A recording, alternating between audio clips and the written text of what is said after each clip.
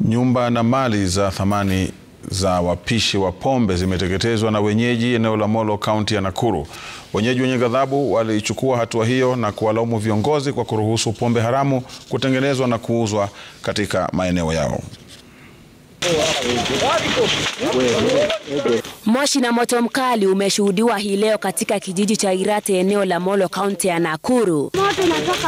Kwa umbali inaonekana kama ajali ya moto, lakini unapokaribia eneo la tukio ni wenyeji waliojawa na ghadhabu ambao waliamua kuchukua sheria mkononi na kuteketeza nyumba zinazoaminika kuwa za wapishi wa pombe eneo hili. Leo tumebomoa tumesema kuisha ni kuisha, na tumesema kuisha ni kuisha. Eh, yote imeisha. Hatutaki pombe, tumesema hatutaki pombe, tume tujengewe makanisa. Kina mama eneo hili wamelaumu pombe hiyo kwa kusambaratisha maboma yao, huku kina dada pia wakisema wanakosa waume wa kuwaoa, kwani wengi wametekwa na pombe. Nini mwana constituency tunaomba pombe iishe, haswa Chandera na mahali kunaitwa Kasino. Yani sisi tukiwa wakaa wasichana pombe wanaume wamekunywa pombe mpaka tumekosa wazee.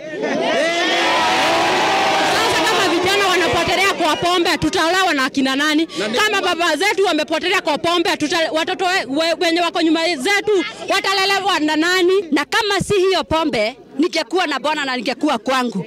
Saa hii sina bwana, ameaga na niko na watoto. Sijui kama mtanipatia wenye walikuwa wanapika pombe, sijui kama mtanipatia bwana wa kunilelea watoto. I don't know, hiyo sijui. Wenyeji hapa wamelaumu viongozi wa eneo hili wakisema wamezembea kazini na kusababisha biashara ya pombe haramu kunoga hapa kwa miaka mingi. Sasa wanawataka wawajibike au waondoke uongozini.